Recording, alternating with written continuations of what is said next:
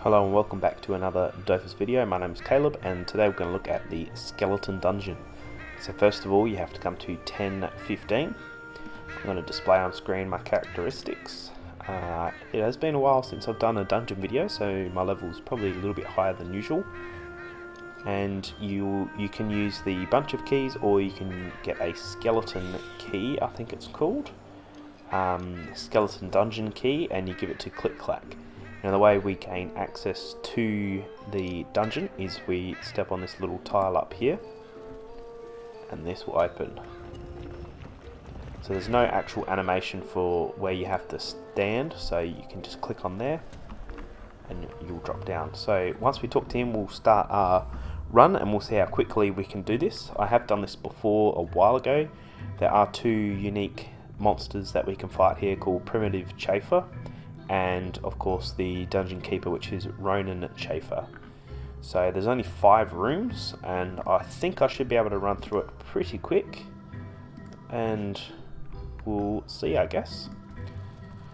So we'll probably just try to run through as quickly as possible. Um, all attacks on him. Kill, kill him one hit, thank you. Alright, we'll get these two on the next turn. And we'll try and do challenges if possible. If not, nope, I'm going to go for time over challenges. So, we'll kill them. And we'll move on to the next one. I'll just keep an eye on my HP. I may have to use some bread to speed this up. Right, I'll let them come to me. Oh, probably should have checked that. He can move pretty far. That's okay, because they're both dead this turn. So we can run through this pretty quick so far, which is not too bad. We're in the third room. That's a good start for me. Ooh, yeah, we'll do the challenge. What's he got? Two. Yep, perfect. And then hit you. There, go that. And there. We'll try and use all that AP if possible. Oh, I don't know where he is. Will that hit him? It won't. If we go like that. Oh, we hit him once. Not enough though. Now I have to use all MP. Um, go like that, we'll go like that, and then go like that. Got him. Excellent. Oh, it's not a bad drop. Right, we're in room four. So I guess we'll just beat them from a distance on this one. And we'll let them come to us. So we're just trying to run through this as quickly as possible. Um, well, it's probably going to line up pretty well for me. How far can he reach me? He can. I'll take away 1 MP if I can. 2, even better. So, yeah, like I said, I haven't done one of these dungeon runs for quite a while. I've been focusing on other stuff, making kamas in-game. And, yeah, just getting lots of levels. You can see I'm level 136 now. So here we go. Here's the boss, Ronin Chafer. So we'll attack him. So yeah, I've just been focusing on uh, different things at the moment, so um, I'll get back to the dungeon runs pretty soon.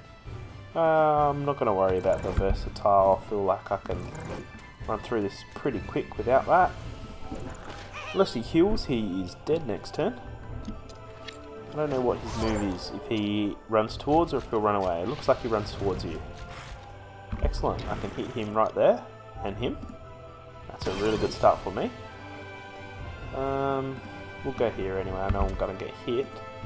I might be able to take enough MP away for him not to get to me. I can, excellent. So I can still try to use the Nomad challenge. They pushing me away anyway.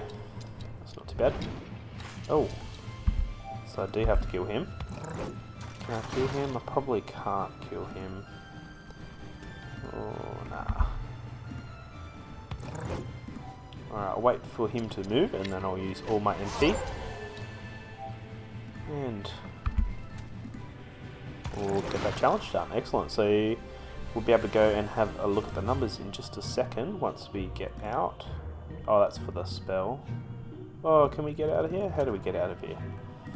Ask the secret, don't ask. I don't know what this means. How do we get out of here? Secret, ask, say goodbye.